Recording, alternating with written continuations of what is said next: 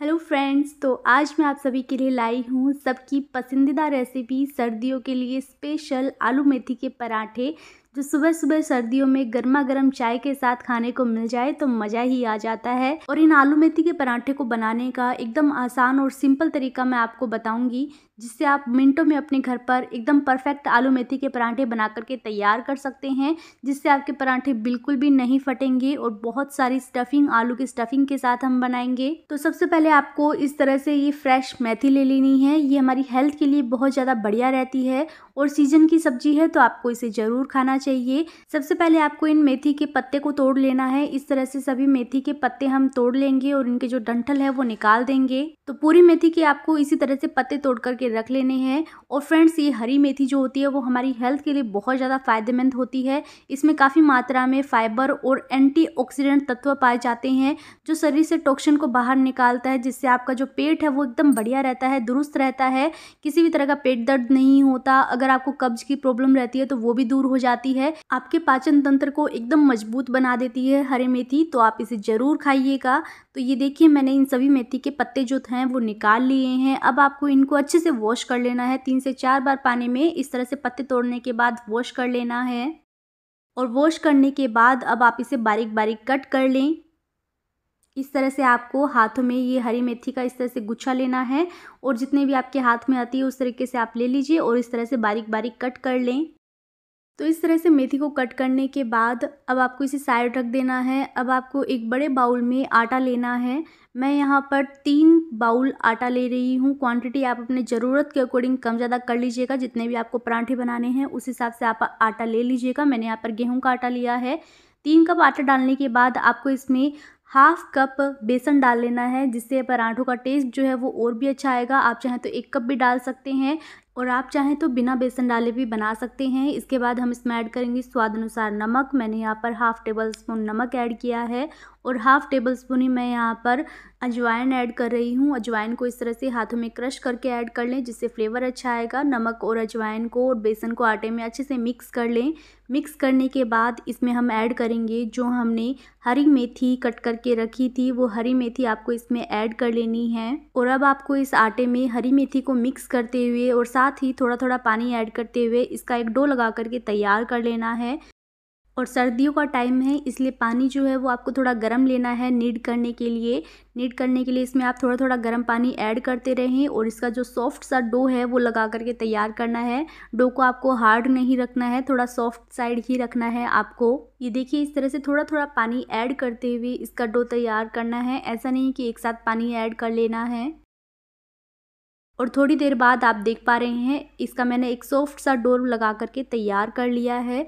अब आपको इसमें एक चम्मच घी ऐड कर लेना है। आप चाहें तो आटे में पहले भी ऐड कर सकते हैं। मैं यहाँ पर लास्ट में इस तरह से एक चम्मच घी लगा करके इसको अच्छे से कोट कर रही हूँ और इसको आपको 10 मिनट के लिए साइड में रख देना है सेट होने के लिए। जब तक ये डो सेट होता है, तब तक हम स्टफिंग तैयार कर लेते हैं। इसके लिए मैंने यहाँ पर ये पाँच से छः बॉइल्ड आलू लिए हैं मीडियम साइज़ के। इन बॉइल्ड आलू को आपको अच्छे से मैश कर लेना है। आप चाहें तो कद्दूकस भी कर सकते हैं। मैं इस तरह से हाथों से ही मैश कर रही हूँ। आलू को अच्छे से मैश करने के बाद अब आपको इसमें ड्राई मसाले ऐड कर लेने हैं, जिससे टेस्ट अच्छा आता है। तो इसके लिए मैं यहाँ पर वन फोर्थ टेबल स्पून हल्दी powder one tablespoon red chilli powder. अगर आपका तीखा ज़्यादा है लाल मिर्च तो आप हाफ़ टेबल स्पून भी डाल सकते हैं। अदरवाइज़ नॉर्मल सा ही लगेगा इतना भी। इसके बाद आपको इसमें आधा चम्मच जीरा ऐड कर लेना है। आधा चम्मच ही आपको अमचूर पाउडर ऐड कर लेना है, जिससे अच्छा टेस्ट आता है। स्वाद अनुसार नमक ऐड कर ले। नमक आपने आटे में भी डाला है तो उस अकॉर्डिंग कम ही डालिएगा।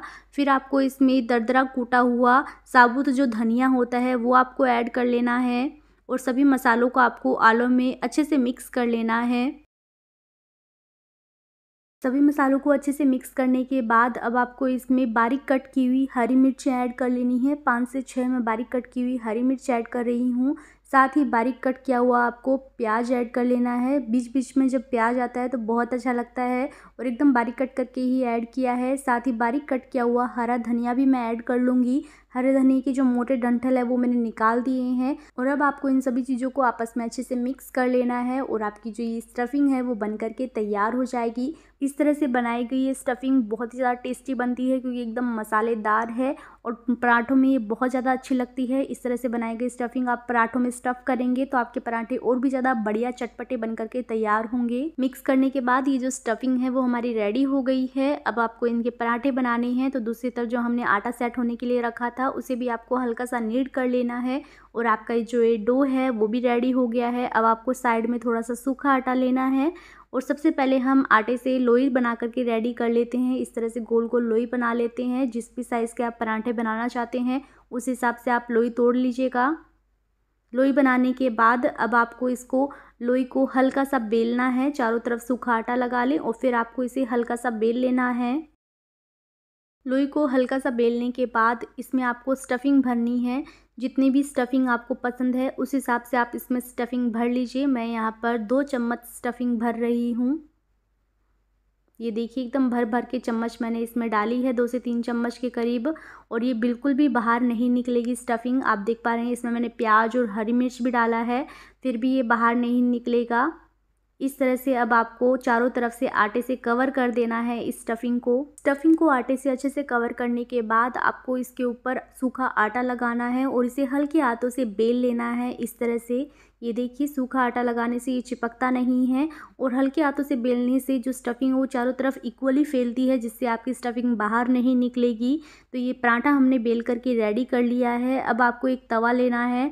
आप किसी भी तरह का तवा ले सकते हैं नॉन स्टिक या फिर आयरन का तवा, जो भी आपके पास अवेलेबल है। पराठा तवा पर डालने से पहले आपको तवे को अच्छे से गर्म कर लेना है। तवा जब आपका एकदम परफेक्ट रेडी हो, गर्म हो, तब आपको इसके ऊपर पराठा डालना है। और इस तरह से एक साइड से सिक जाने के बाद आपको इसे पलट देना है। और जब ये पराठा दूसरी साइड से भी पक जाता है, दूसरी साइड से भी अच्छे से सिक जाता है, तब आपको जो पहली साइड है, उसके ऊपर आपको घी लगाना है। या फिर आप ऑयल खाते हैं ऑयल में पराठे बनाते हैं तो आप ऑयल भी लगा सकते हैं। मैं यहाँ पर देसी घी का यूज़ करती हूँ, जिससे पराठों में टेस्ट भी अच्छा आता है और पराठे हेल्दी भी रहते हैं। घी लगाने के बाद अब आप इसे पलट दें। और जब आप इसे दूसरे टाइम पलटें तो आपको गैस की फ्लेम को मीडियम कर देना है और मीडियम फ्लेम पर आपको इसे पकाना है ताकि इसमें क्रिस्पीनेस आए, जले ना और अच्छे से अंदर तक पक जाए।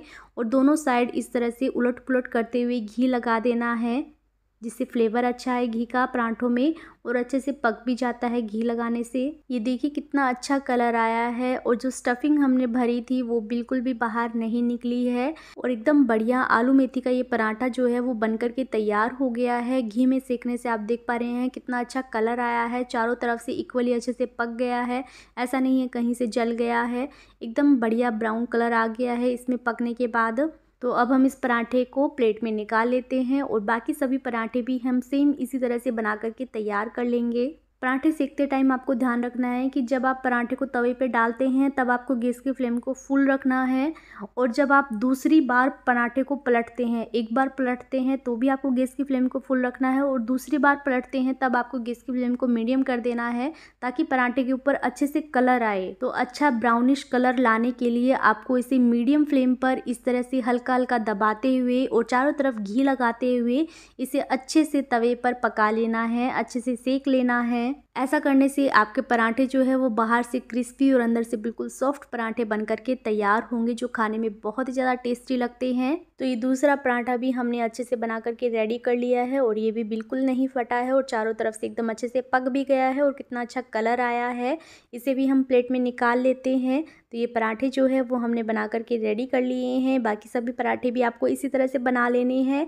मैं आपको अंदर से इस पराठे की स्टफिंग दिखा देती हूँ। कितनी भर भर के हमने स्टफिंग की है। फिर भी बिल्कुल भी बाहर नहीं निकली है और एकदम बढ़िया पराठे बनकर के तैयार हुए हैं। तो एक बार आप इस तरह से, इस तरीके से इस रेसिपी को ज़रूर ट्राई कर कर देखिएगा। बहुत टेस्टी पराठे बन करके तैयार होते हैं। आप इन गर्मा गर्म पराठों को अचार और दही के साथ भी सर्व कर सकते हैं या फिर गर्मा गर्म चाय के साथ भी सर्व कर सकते हैं। बहुत टेस्टी लगेंगे। और सर्दियों का मौसम आ गया है तो आप इस रेसिपी को ट्राई करिएगा और कमेंट सेक्शन में मुझे कमेंट करके बताइएगा कि आपको ये रेसिपी कैसी लगी। रेसिपी अच्छी लगी हो तो वीडियो को लाइक और चैनल को सब्सक्राइब ज़रूर करिएगा। तो चलिए दोस्तों, आप इस डिलीशियस आलू मेथी के पराठे पराठों का मज़ा लीजिए। मैं मिलती हूँ आपसे नई वीडियो में नई रेसिपी के साथ। तब तक के लिए बाय।